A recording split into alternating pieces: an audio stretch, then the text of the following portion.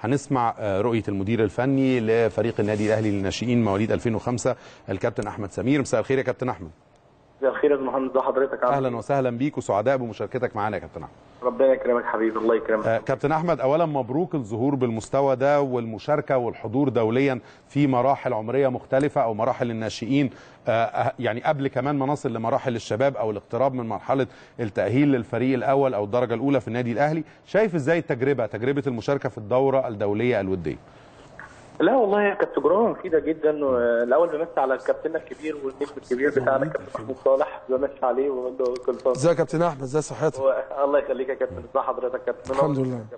الله يكرمك. لا هي. كانت تجربة طبعا جميلة جدا وكانت تجربة مفيدة لنا.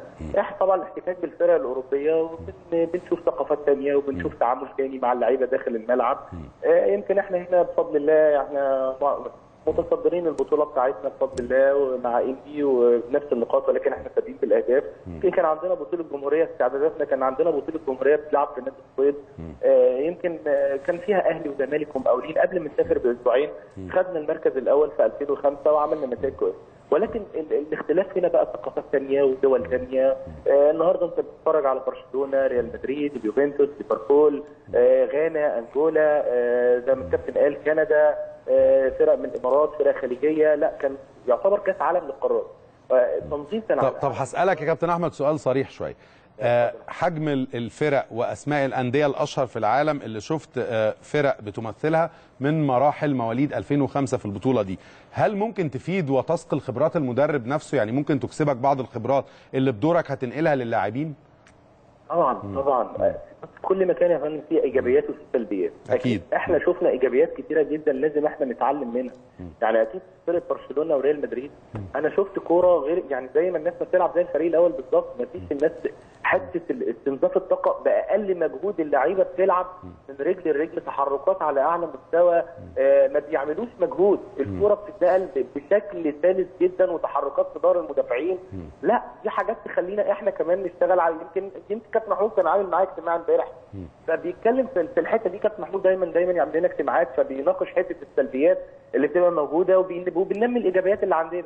فمن ضمن الإيجابيات اللي إحنا شفناها آه، كابتن محمود كنا بنقول إن إحنا مهاراتنا زي مهارات الناس اللي بره بالظبط. ولكن في حاجات تانية فارقه عندنا شوية حتة القوة والصحة شوية يمكن هم بيهتموا بيها. يمكن أجسام الولاد هناك في أوروبا برضو ما شاء الله يعني أنا مش شاكك إن هم في كام لعيب كده تحس إن هم مش طبيعيين. ما شاء الله أجسامهم جامدة جدا. آه، ال- الحاجات اللي هي فيها ثوابت والكور الثابتة بيشتغلوها بشكل منظم. يخليك انت تتعلم وفي أخطاء انت بتحاول إن انت تعالجها وأي إيجابية عندك انت بتحاول تنميها لا مدارس مختلفة. أكيد. كل مدرسة لها. فكرها وكل مدرسة لها شغلها. آه، زي ما بقول لحضرتك برشلونة وريال مدريد لا حاجة حاجة جامدة جدا. التجربة مفيدة التجربة مؤثرة جدا ومفيدة جدا فنيا من وجهة نظر طبعا. يمكن إحنا وقعنا مع فريقين من إسبانيا. لا أنا راضي عن أداء الولاد بشكل جيد جدا. والكابتن محمود راضي. كان حصل اجتماع معايا مع كابتن زيزو. واستاذ خالد اتكلم مبسوط جدا من أداء الولاد. يمكن كانوا هم بيروحوا للولاد لما بيتغابوا الماتشات.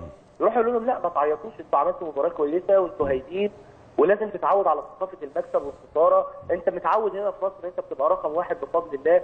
ولكن العالمية بقى انت النهارده لا. النهارده بقى لنا فترة طويلة طبعا. أنا بشكر مجلس إدارة النادي الأهلي والناس اللي اتاحت لنا الفرصة إن إحنا نسافر. آه، المسؤولين كابتن عمرو أبو المجد كابتن محمود صالح كابتن خالد جد الله كابتن اكرامي كابتن سامح حسني الناس دي يعني ساعدتنا برضه في حتة السفر ده تفرق معانا كويس جدا إن إحنا نتعلم نستفيد من الخبرات اللي إحنا شفناها دي فحاجة كويسة يعني. أنا مبسوط جدا ونتعلم طبعا ونستفيد من كل التجارب اللي بتقابلنا على طول إن شاء الله.